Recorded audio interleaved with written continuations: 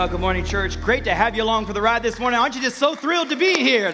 Great to have you here. We are in week two of a series we kicked off last week called Close Encounters. More on that in just a second. Just as a reminder 21 days, prayer and fasting. Everybody, it's just a great season for us. And uh, so you're like, well, I wasn't here last week, I wasn't here when it started.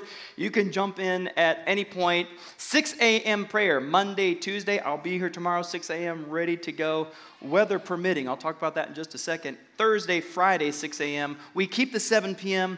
Wednesday service for those that can't join us in the morning. How many have been enjoying Wednesday night, diving a little more deeply on, on the fasting idea, just kind of teaching you in that space. Because of the weather, I just want to let you know how we're going to communicate with you. If you do not have the church app, take out your phone right now, scan the QR code. We're going to communicate with you via the app and via social media. So we're trying to communicate with you, but if you don't do the things we're using to communicate with you, you won't know. You'll show up here, and, and I'll probably be here no matter what. But we just want to communicate with the church at large that we're actually meeting or not meeting. I don't know if there's going to be snow. How many know how many times they forecasted snow and we got nothing. So, I mean, we'll just see how that, that goes tomorrow. When you walked in, there were some prayer request cards on your seat. Those weren't just uh, like reserved seating, those are for you to fill out because every morning we're praying over those requests. Right now, over 300 requests that are on this platform every morning that we're praying over in the life of the church. And even if you're a guest and you just say, man, I would love for some people to be praying over that over these 21 days, fill it out, drop it in uh, the container on the way out. And then let me just mention this at the end of our 21 days, we're going to have a worship encounter. And what I'm most excited about water baptisms, everybody. Just love everyone taking their step there. And if you've never done that, you can scan the QR code. That'll take you straight to the registration place, and we'd love to serve you in that way. I just am firmly a believer that one of those powerful things you could ever experience in your life is an encounter with an almighty, all powerful, living God. Can I hear an amen right there? And I just, as during our worship time, I just thought, oh Lord, may they encounter you in a new way. Of course, the thesis on this whole uh, series, the theme, the idea is that we need an encounter, not just an explanation, meaning that God is not just a God that is to be understood in our minds but is he is to be one that we need to encounter and experience in a real way. Hey, everybody, you don't just need more information in your mind.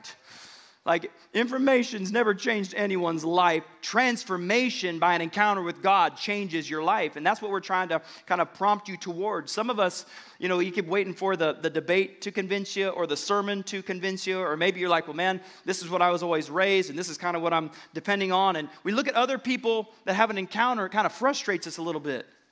Because we know we can't live off of their encounter. And yet, we see God doing something in their life and we want it so badly in ours, but you have to experience Him for yourself. It would be like if you had never in your life had a Krispy Kreme donut when the hot now light was on.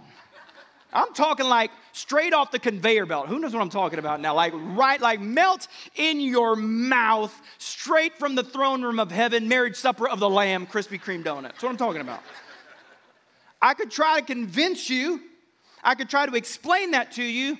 Or how many just want to go right now? Let's get in the car and let's go to Krispy. Let's take your. And when you put that in your mouth, nothing that I could have explained will do that for you. You have to have your own experience with God. And some of us are frustrated because we see other people having encounters and experiences. And a lot of us, though, we've confined God to a mental engagement. It's an explanation about Him rather than an experience with Him. And you have to move beyond an understanding of your mind because until you truly encounter him, you won't understand or be able to grasp his love, his compassion, his kindness, how awesome our God is. And maybe this is news for some of you today. God actually wants to encounter you, like he wants to meet with you. And what we learned last week is that God often uses strange ways to get our attention. He has unique ways of kind of interrupting and disrupting our lives. Now, I also believe that we have a role in the encounters. And we have to be open and flexible because the encounters look different. How many know there's not a cookie cutter formula for encountering God? Like we see this all throughout Scripture, and I think this is how denominations get formed because they see how God, someone experiences God, and like, well, that's how everyone has to experience God. Let's start a new denomination. It's like, no, God is actually bigger than that. He can encounter you in different ways, and I'm not against denominations, but that's how it happens. That you know, it, back in Moses' day, they would just they would have started the first church of the burning bush because that's the way it has to happen right there. And we're just waiting for that to happen. And, and we actually limit God based upon the experiences that other people have. He came in a burning bush, He came blinding light from heaven, mighty rushing wind, cloud by day, fire by night. How about this? We soaped through it today. Elijah's story, just in a whisper. He like, he, he didn't come in the earthquake. He didn't come in the wind. He didn't come in the fire. That was the original earth, wind, and fire right there in 1 Kings 19. That wasn't, that wasn't their idea. That was God's idea. By the way, you'll hear me talk about soaping uh, throughout the message today. Soaping is just a way that we read scripture. It's just kind of template. As a church body, we read a chapter a day, and it's based upon what we learn on Sundays, and then you get to dive more deeply into it during the week. Come on, all you soapers, tell them what it stands for. It stands for scripture, observation, application, and prayer. It's just a template by which we read scripture. You can get a hard copy, you can download that right from the app. And I just got I got to make a confession because the story that I was going to tell and the encounter that I was going to teach on today is not the one that the, the Lord wanted me to teach on. So a few days ago, He changed it. Now, how many, how many know I can teach on encounters and being flexible when God wants to do something different, but then I got to actually do it myself sometimes? And I was actually going to teach on the Elijah encounter. That God comes in this still small voice, because I think sometimes we want the dynamic and sometimes He comes in the whisper. But I, but I felt like the Lord said, No, I don't think that's what you're supposed to teach on. Because I speak in all kinds of ways. Now, you're going to soap through this. I've still found a way, though, to keep your soap readings in your readings and in the message, everybody. Thank you so much, Pastor Devin. You're so great. You're going to soap through this tomorrow. God speaks in different ways, and how many have seen that? So it's not a matter of whether or not He's speaking, it's a matter of not if we recognize His voice. That's why Jesus said, You'll soap through this on Thursday. He said, You got to recognize my voice. If you want to know me, you got to be more familiar with my voice. And so we have a role in these encounters. Today we're looking at this incredible encounter, the one that the Lord really led me to, based on a character. And the reason I felt like he, he kind of shifted the focus was because I felt like there were so many of us that could relate with this encounter and the person that was coming to the encounter, and it is the person of Jacob. Jacob's encounter. He was the grandson of Abraham. No pressure there. You know, I mean, it's like, how do keep on living the legacy? You're like, that guy, the father of our faith, you know? How many remember Sunday school? Father Abraham. And this is the grandson of that guy. Good luck. And then the, you know, the calisthenics was on. Jacob was uh, the second born twin of Isaac and Rebekah. And Esau, his older brother, was born just seconds before him. The Bible says that when Esau came out of the womb, Jacob was holding onto his heel when he was delivered. Like, even from the very beginning, he's trying to hold back his brother and be first. The Bible says there was a sibling rivalry while they were still in the womb. The, the language the Bible says they were jostling within her, it says. How many would like to have carried that pregnancy? No, thank you. And Jacob's life was marked by struggle. Like life never seemed to come easy for Jacob. And that's one of the reasons why I felt like the Lord led me to this encounter because I think a lot of us are like, it's just not coming easy for me. I see other people, I see what they're experiencing, and it just, it's a struggle for me.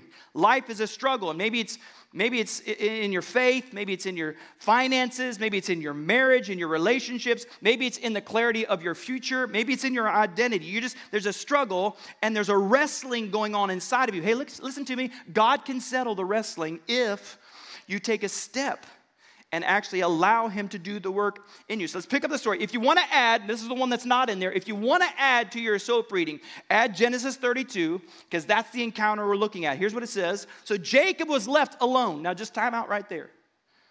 Because it's often in the moments when we feel alone and desperate that God goes, they need me most. He's close to the brokenhearted. He's near to those who are crushed in spirit. And in an alone, desperate place, he meets a man and he wrestled with him until daybreak. Now, let me just talk to you about this man theologically a little bit. As we study scripture, we see these appearances of God in human form. I'll give you just another example out of scripture. Remember Shadrach, Meshach, and Abednego? They throw them in the fiery furnace. There were three that we threw in. We look in, there's a fourth man walking around in the fire. What is that? In theology, we call that a Christophany. It's where Jesus actually steps out of the throne of heaven and plays a role in human history. And most theologians believe that's what happened with, with Jacob here. So, whether it's Jesus or not, it's definitely someone representing God in some form, whether it's an angel of God, maybe it's Jesus himself, wrestling with Jacob until daybreak. And watch what it says. And when the man, representing God, saw that he could not overpower Jacob, he touched the socket of Jacob's hip so that his hip was wrenched as he wrestled with the man. Jacob was fighting so hard against God that God actually had to touch him in a way that crippled him. Let me say it a different way. God had to touch him in such a way that it got his attention and slowed him down. Now, I know none of you can relate with that. I know none of you have fought against what God would want to do in your life. But God sometimes, listen, I've watched people struggle so greatly with God. And God sometimes has to do some things in our lives to get our attention and slow us down. And this is what He does because He wants to encounter us. the man said, I'm done with you, Jacob. It's daybreak. I've done all I can do. I've done enough work in your life right now. I've touched you enough. And Jacob responds with what, what has been a prayer of mine, and I'm hoping becomes a prayer of you. I am not letting go unless and until you bless me. I am not going another year with that issue. I'm not going another year with my family fractured and broken. I'm not going another year dependent upon that substance. I'm not going another year living anxious and afraid. I'm, I'm not going another year without community and close friends. I'm not living another year with no purpose and no clarity on my identity. I'm not letting go. Come on, that needs to be a prayer in someone's life. And you're going to have to make the decision to allow God to do a work inside of you. I'm not letting go. I'm just going to keep waking up at 5 a.m. and coming to prayer. I knew that wouldn't get a big amen, but I'll say it again. I'm just going to keep waking up at 5 a.m. and showing up at 6 a.m. If God doesn't touch me on day nine, guess what I'm going to do? I'm going to show up on day 10. I'm not letting go. And it takes that type of faith to actually engage with God in such a way that you experience all that He is. I love, I love God's response. What's your name? And he gives him the answer. He says, My name is Jacob. And the reason I highlighted that is because God's basically saying, Tell me who you are. Tell me how you define yourself. Tell me the label that you've assumed. Tell me the things that you're letting guide your life. And tell me the things that you've actually taken on, and now you're living out something that was put on you. Jacob's name means trickster or deceiver. In the Old Testament, uh, another translation would be heel grabber. In other words, I'm going to do whatever I can do to pull someone else down. I'll do whatever I have to do lie, cheat, deceive, manipulate. That, and he says to God, That's who I am. My life is full of deceit and full of lies. That's who I am, and that's who I will always be. And some of you, have responded that way to God when He's actually wanted to move in your life. He wants to encounter you, He wants to bless you, and you're like, yeah, yeah, yeah, but this is who I am. This is who my family's always been. We've always struggled with that. Divorce runs in our family. That's just the way it's going to be. Addiction runs in our family. This is who we are. This is who we're always going to be. And God's going, I want to bless you, but you're going to have to make a decision and take a step. And He responds, no, no, no, no, no, no, no. Your name is no longer Jacob, but your name is Israel, which means one who sees God, one who struggles with God. Another translation would say, the one that God perseveres in. I love that. And even when some of you hear that, you're like, well, good for Jacob. But could you understand that you actually don't have to live the way that you've been settling for? That you no longer have to settle for a lackluster marriage that you no longer have to settle for mediocrity. Hey, look, look like right here. Listen, you don't have to live with that habit. You actually don't have to just resign yourself to living with that addiction. You don't have to have that label superimposed on you and live in alignment with a lie.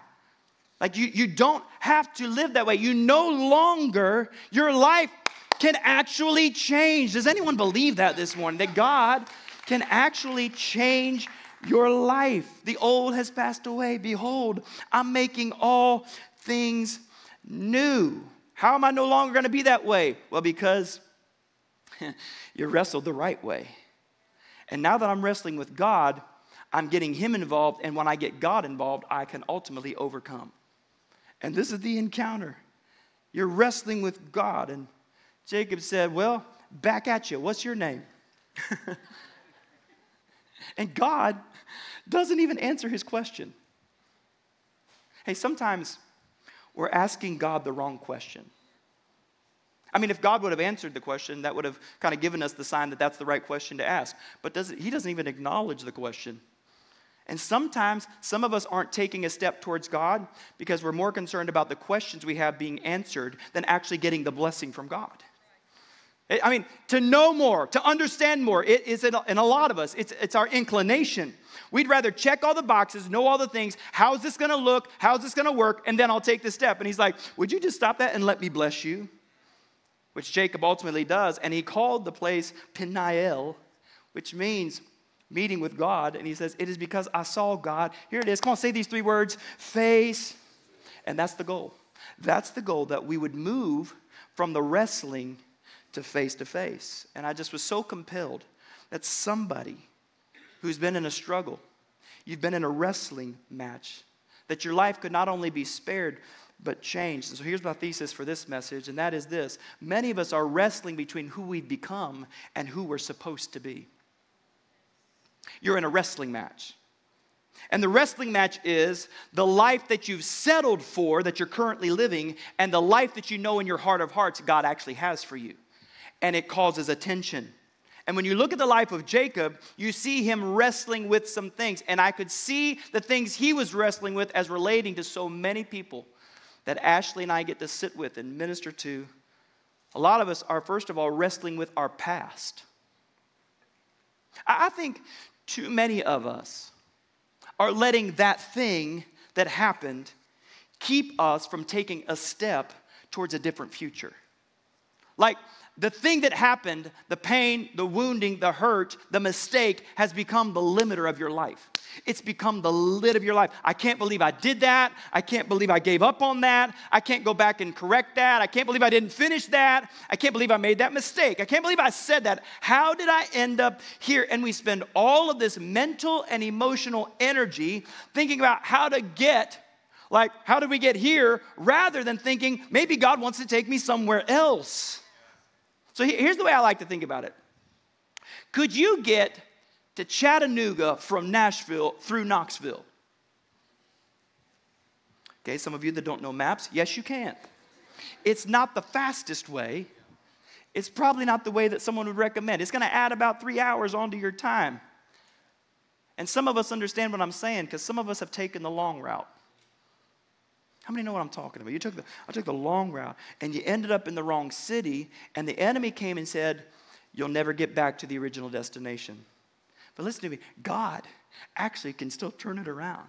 But some of us, we're so focused on every wrong turn that we've taken, we've actually forgotten about the original destination that we were headed. We're using our energy in the wrong direction, focused on every mistake, every misstep. And like Jacob, some of us have assumed a label. By the way, that was a label, a name he didn't even choose. But he started to live in alignment with a label that he didn't even choose. And for some of you, the mistake has become the label. And now the mistake you made, the hurt that happened, the pain that happened has become the identity of your life. You got to hear this. We cannot go back and change the beginning, but we can start right where we are and change the ending, everybody. That can be a reality for you. God, He's never changed His mind about you. He's never given up on you. People will change their minds on you. God is never done with you. He's always working to fulfill His plan in your life. I don't care how far off course you think you are. I love this verse in Deuteronomy chapter 4. i am just, I highlighted the words that sometimes we'll just skip over. But if, come on, say these two words out loud. If from there, from where? From where you are right now. Wherever you are right now. I don't know where you are. I don't know where your finances are. I don't know where your marriage is. I don't know how many mistakes you've made. I don't know what label you've been assuming. But if from there, wherever you are, if you will seek the Lord, watch, He's waiting. You will find Him. He's not playing cat and mouse with you. He's waiting for you to take a step. If from there I just decided, I'm going to prayer tomorrow. no one's going to be excited about that right there. But what if, right from where you're at, you decided, if from here I'm soaping for the 21 days of prayer and fasting, I'm to seek God with all of my heart. If from here you decided, I'm leading a connect group this semester, what, what if you just took a step wherever you are? You just decided. I mean, it's, it's the line we hear at weddings, right? What's the, what's the line you hear at weddings? From this day forward. I, mean, I know I dated all those people, all those losers. I know I gave them emotional energy. I know I gave them some things that maybe I shouldn't have given them. But from this day forward. I know I, I know I did that in my past. I know I made that mistake, but by God's grace, from this day forward, I just came to declare someone needs a from this day forward type of attitude to take a step. Forget the former things. Quit dwelling on the past. God says, watch, I am doing, that's present tense. I am doing a new thing. And watch, the Bible says in a little bit of frustration, don't just see it. And we sing it. Oh, I've witnessed that. I've seen that. Oh, the faithfulness of God there. Listen, He's doing it for you. He's making a way. I am doing a new thing. And I just felt like I needed to tell someone this morning to not park at the place of your pain, drive toward your destiny. Some of us, we've let the pain become the place where our life has stopped. Like we just put it in park. Our life has been in park. We were driving along just fine. And then that thing happened, and we decided to pull over and just put it in park. And people are coming by and they're like, hey, can I help you? Hey, uh, you need a ride? I'll take you to the next exit. Hey, anything I can do for you? Oh, no, no, no, no. I wish I could, but I have this thing. And this has become my whole life and my identity. I wish I could go, but I'm parked right here around that. Well, you don't have to. No, no, no. This has kind of been my life. Hey, everybody, get back in the car and put it in drive. God has a destination in mind that He would love to take you to. You have a role in the encounter. Here's the second wrestling match that's going on, and that is the wrestling with our secrets. I've heard it said, you're only as sick as your secrets. Because what others don't know about you and the things that you're hiding and concealing. I mean, Jacob was a deceiver, and he didn't start out being a deceiver. He was named deceiver, and he found himself aligning with a label that was put on him, and he so badly wanted his father's blessing. But here's the challenge with that the oldest always got the blessing.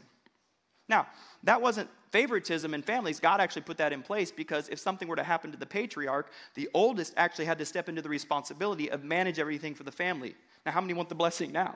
Like, but Jacob wasn't making that correlation. I just want the blessing. I, I want him to bless me. The Bible says that when Esau came out of the womb, I was reading it again last night, it said he was red and hairy, like a Wookiee right out of the womb. This is awesome. What am I doing with that? Yeah. And Jacob wants his birthright. Esau was an outdoorsman, kind of a guy's guy, hunter. And Jacob was, he was into other things. He was just the opposite. And so when Jacob wanted his father's blessing, he actually says to his older brother, Sell me your birthright. And he offers him something to eat in exchange for the blessing. And Esau takes the deal. Listen to me. For a temporary, immediate gratification, Esau gives up the blessing. For a temporary appetite to be fulfilled, he gives up the blessing. This is what Adam and Eve did in the garden. For a temporary appetite, gratification, they give up the blessing of living in the garden. Let me say it a different way they gave up their dominion. They gave up God being the favor surrounding them. And Adam and Eve lost their dominion when they fed their appetite. And some of us, we're frustrated, we're wrestling, we're struggling because we're not experiencing victory and dominion here. But the problem is we keep giving into the appetites of this world and we won't set them aside. And you actually are saying no to the dominion and victory you could have in Christ rather than feeding your appetites. That's what this season is about, actually. That's why I'm, I'm a, whether you do food or not, I'm always encouraging people lay something down that actually could be a distraction to you experiencing God's best for your life. Jacob convinces his brother, but now he has a problem because he needed his father to actually put his hands on him and bless him. Well, his brother was hairy, and so he got out, he got some fur from some animals. That's a hairy guy now. If you get some fur from animals and people think it's actually a person. And his ailing father, who was struggling with sight, felt the arms. He tricks his dad and he blesses the pretender. Jacob technically gets what he wanted and is miserable after he got it. I'll tell you why. Because he had to pretend to be someone he wasn't to get it. And some of us, listen, you pretending to be someone you're not to get the thing you think will satisfy you, and when you get it, you're miserable because you had to pretend to be someone that God didn't call you to be to get it. I soaped through this Tuesday, two days ago. I, I, uh, I read a proverb a day as well, whatever day of the month it is. I read that proverb. And I was reading through, I knew at this point that I was going to be teaching on this story. And this verse just jumped off the page. Proverbs chapter 12, a couple days ago. Better to be a nobody and yet have a servant than pretend to be a somebody. Then pretend. Hello, social media. My goodness. I, when I read it, I thought, oh, yes, I'm the great pretender. Anybody know the platters, anybody? Pretending that I'm doing well. Living my best life. Problem with that is I'm sitting with that couple on the verge of divorce. But when they pretend to be somebody they're not, and they actually get what they think will appease the tension, it doesn't. Because God doesn't bless who we pretend to be. You got to get that. You're expecting Him to bless something that isn't real. God has something for you that's rooted in your identity in Him. Proverbs 28, I love this. Whoever conceals, hides, pretends, doesn't prosper. But the person that just goes, you know what? This is who I really am. God, and I'm renouncing the things that I've been distracted by. Whoever conceals doesn't prosper. King David, you remember when King David like totally blew it, messed up? And watch what he says. When I refused to confess, and that's where some of us are at today. You just refuse. You're frustrated, you're wrestling, but you're refusing. And can I tell you, you got to step into that if you want to settle the wrestling. My body, listen to him. See if this doesn't sound like a wrestling match. My body's wasting away, groaned all day and night, night and day, something heavy on me. My strength evaporated. Like He's in a wrestling match, all because he's pretending, hiding, concealing. But finally, I confess all my sins and stop pretending. And I said to myself, I will confess. And watch, what's waiting for him? Finally, I've been waiting for you to realize what stupid mistake that was. I can't believe you did that. No, God forgives and he removes. He forgives and he removes. And you think that's waiting for you? That's what the enemy wants you to believe. That God's going to come at you. No, he's just waiting for you to come to him and say, I confess. Which ultimately introduces the third wrestling match, and that is our wrestling with God. And this, this is what I love. Like what, what Ashley and I get to do. It's just it's unbelievable that we get to walk with people. Because here's what I know you can go try it, you can go try to scratch the itch, you can go try to pretend your way. You'll be miserable.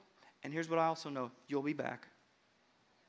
And I, listen, I'm not saying that to be snarky or sharp. You'll be back.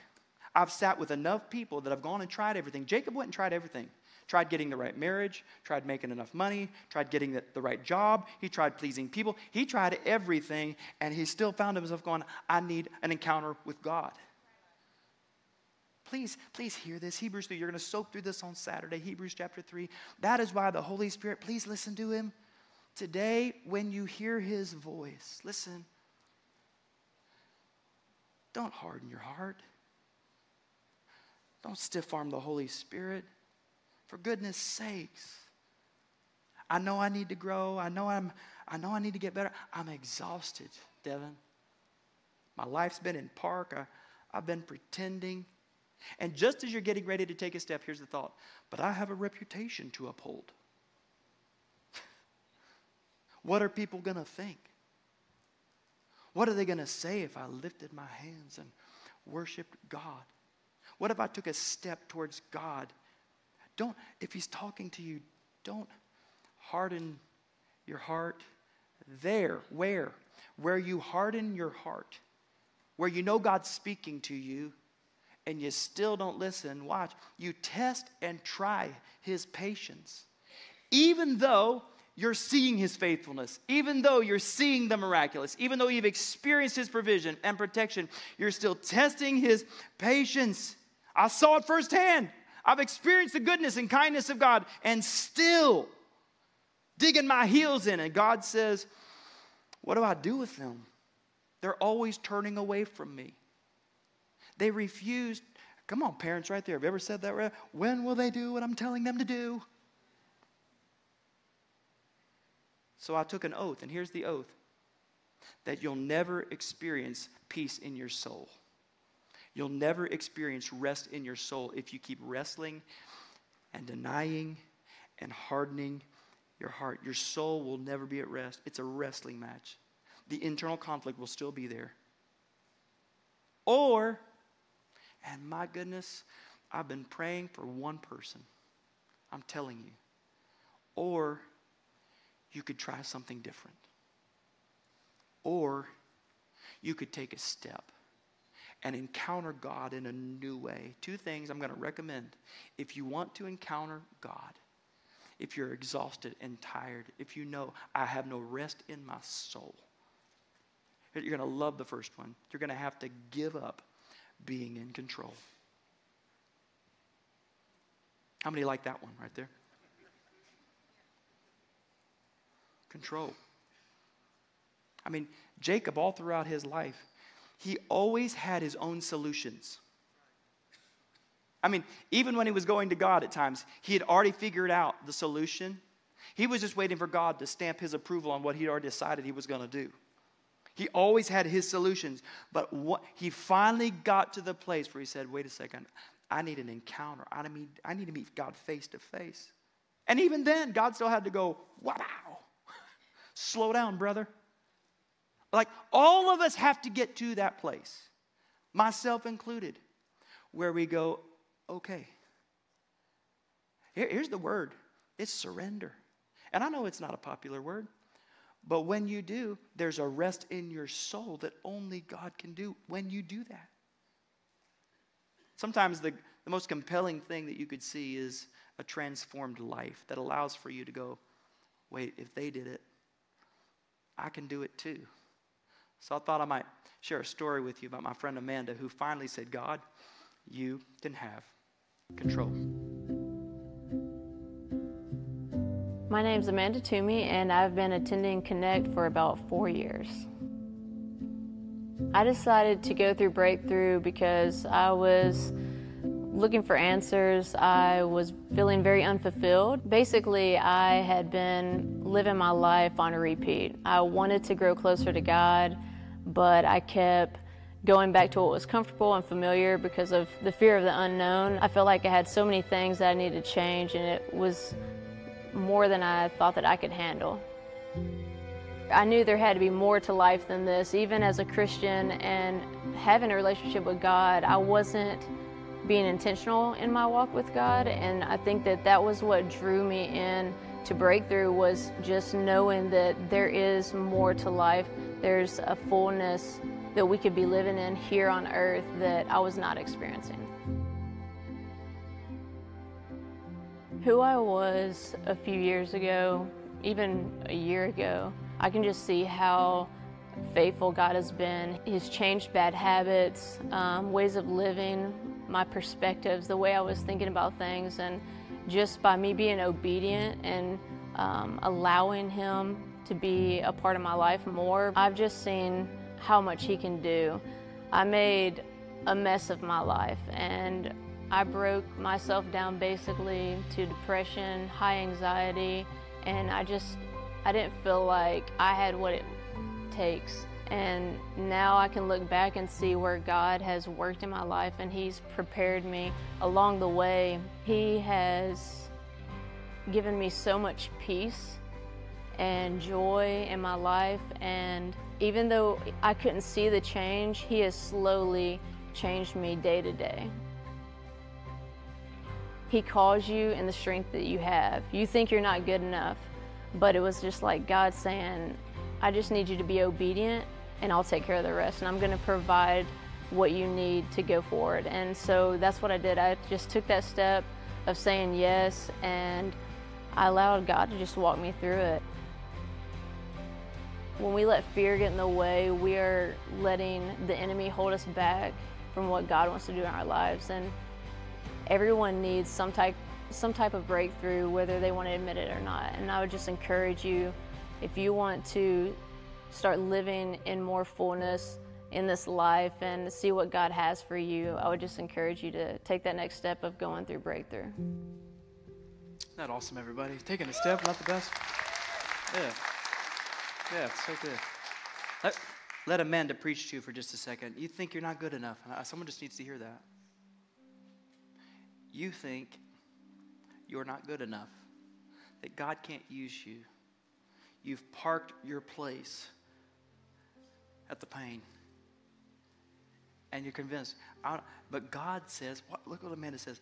All you need to do, we used to sing when I was a kid, is to trust and obey. No other way. What's God going to do? I'll take care of the rest. I'll provide everything you need. Watch what he says. So I took that step and gave up control. I allowed God to walk me through it. When we let fear get in the way, my sister's preaching now. We are letting the enemy, some of you, you're letting the enemy hold you back, captive from what God wants to do in your life. Everyone, Everyone in some area of your life, everyone needs some breakthrough, which is why I'm encouraging you do it. Take the step. Friday night, Saturday morning, January 26th, 27th, I'm praying and believing that someone will take the step. Everyone needs a breakthrough in some area of your life. So, one of my jobs is to acclimate you to the ways of God. And I just have to teach you something about God. Like, if you want God to really move in your life, you need to understand this. It's brokenness that precedes breakthrough. You're going to have to learn that about God. Like, if, if you just come to God and you're like, I'm tired, I'm tired, God, I'm exhausted, I'm, I can't do it, I, I empty myself. How about this one? I repent. It's not a bad word. That's one of the greatest words you. I turn. I can't pretend anymore, God. I need you. I'm tired of running. I'm tired of hiding. Can I tell you? God responds to that. Psalm 51 My sacrifice, O God, is a broken spirit. Let me just say, God is attracted to that type of spirit. He takes a step towards that type of spirit. And he's not looking for perfection. Listen, listen, listen. He's looking for honesty. Yeah. As, we, as parents, you understand this. We used to always tell our kids when they were little it'll always be better for you if you come to us first rather than us finding out. Come on, parents, right there. Always better for you. What if you just led with, you know what I found with my kids? It's hard to despise honesty. It's hard to reject that type of spirit. And God says, I oppose those that don't do that, but I give grace. Like, if you want to know the secret to getting God's attention, here it is. Here it is humility and honesty. It's that simple. If you want to know the secret to being attractive to God, to encountering God, because brokenness precedes breakthrough. And some of you, you've been so committed to living independently. And our world says, man, go do it, live your own life. But we confuse independence and freedom. They're not the same thing. Independence is doing what I want to do, but freedom is doing what I was made to do. And that's a complete difference, man. So you're, you're going to have to give up control if you want the wrestling to stop. Here's the second thing you're going to love this one just as much. You're going to have to give your whole life to God. And if you do, we read it earlier, from there I sought the Lord with all of my heart, with all of my soul, and I found him. He wasn't hiding from me.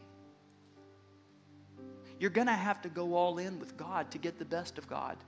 And I know that may sound like extreme. I'm trying to pastor you. I love you. If you want the best of God, you go all in with Him. But some of us are like partial way inners. I'll be there a couple times a month. Probably not going to do that breakthrough thing. Yeah.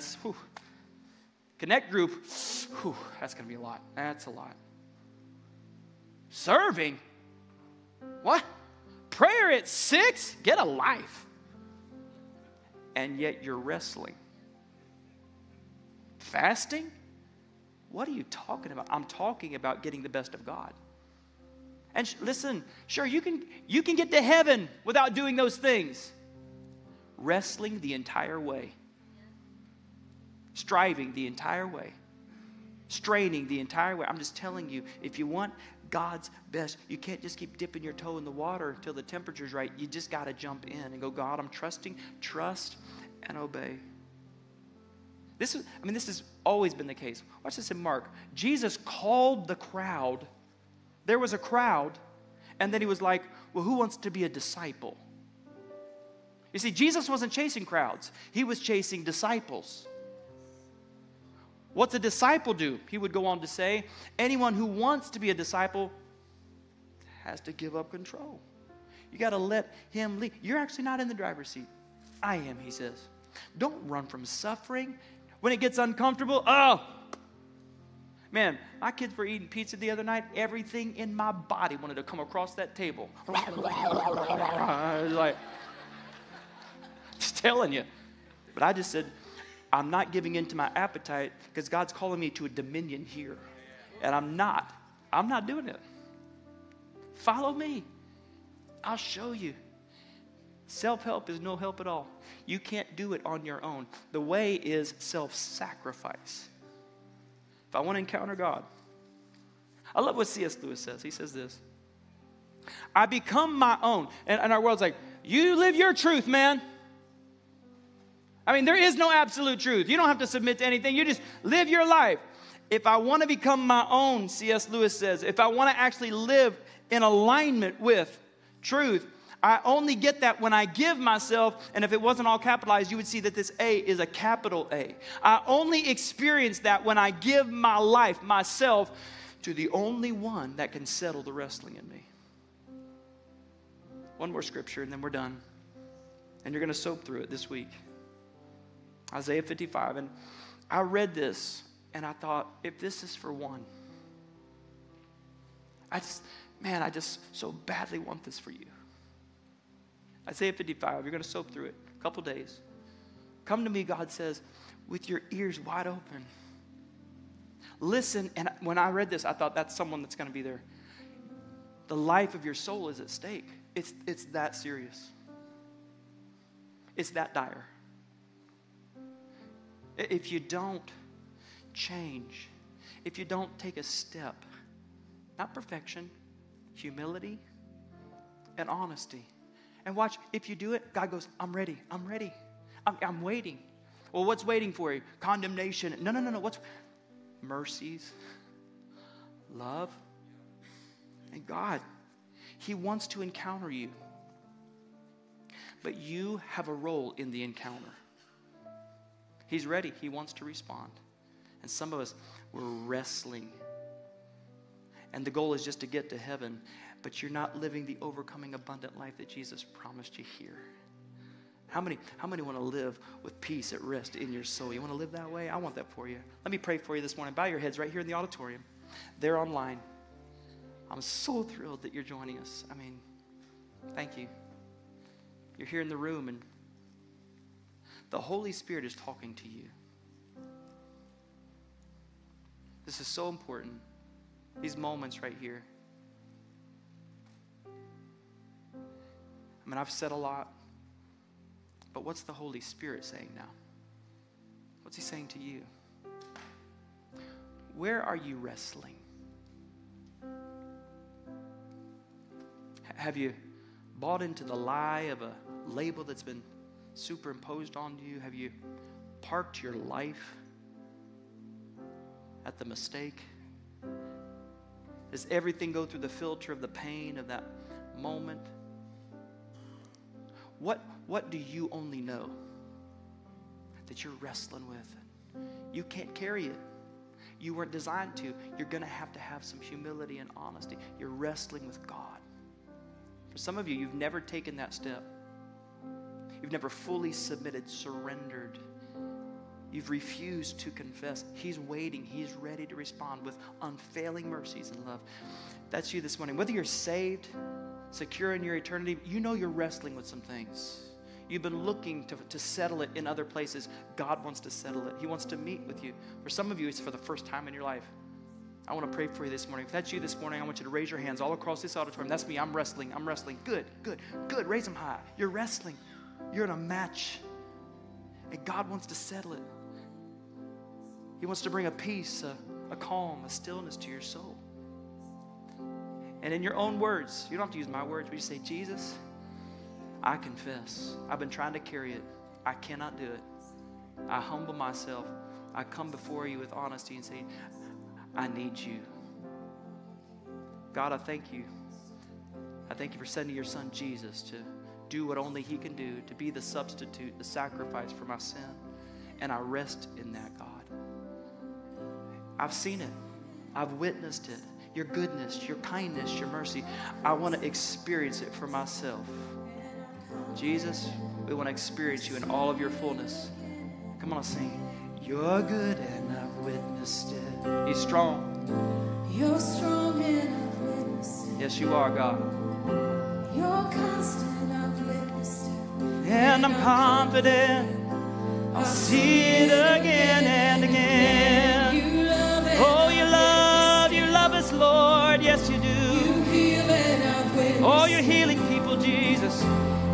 Yeah. Come on, like it, believe it. Come on, declare these over your life. You're good. Oh, you're good, God. You're good. You're strong. Come on, walk in the strength of the